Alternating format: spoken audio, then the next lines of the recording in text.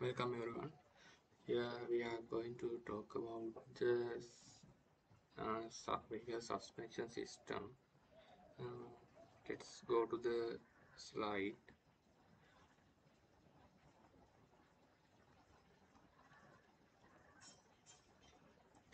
When we are talking about the vehicle suspension system, uh, mainly we can see leaf spring suspension suspension system and coil or torsion spring suspension system.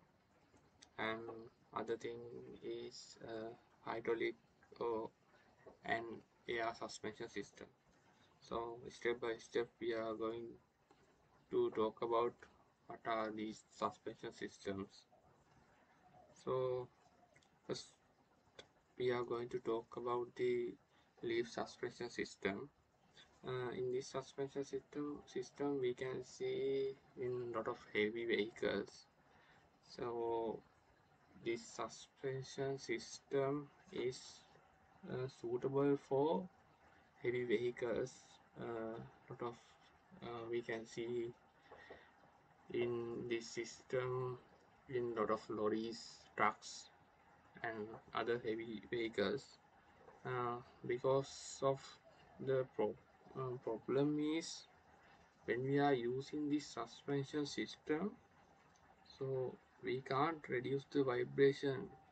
So inside the passengers they can feel the vibration.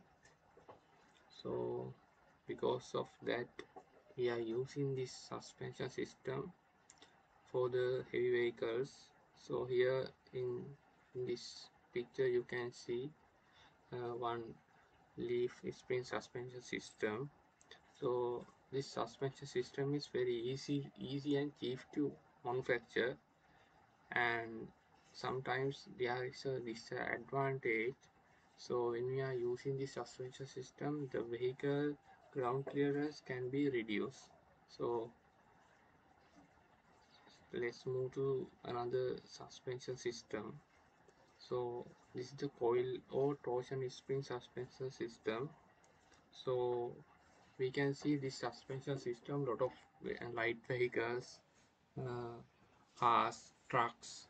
So in here this is uh, this suspension system is little bit uh, something called little bit expensive than the suspension system. And the technique technology is uh, uh, advanced. So in this suspension system we can also we can um, use recondition one and we can repair the suspension system. So these are the things and other important thing is when the disadvantage is when we are fixing the suspension system it takes some space.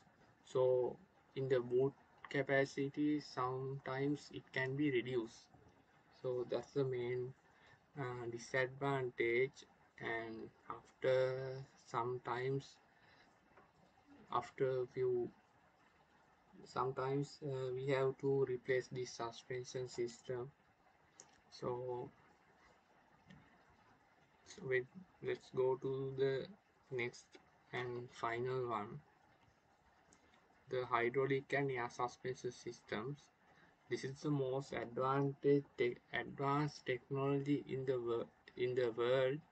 So we are using this hydraulic suspension system and air suspension systems for every works uh, because in the when we are using these suspension systems inside the vehicle the passengers uh, can feel minimum vibration. So you know because of this this suspension system are very expensive. So this suspension normally we are not going to repair this suspension system if they um, lose the performance of this suspension. We are going to buy a new suspension system and we remove old one.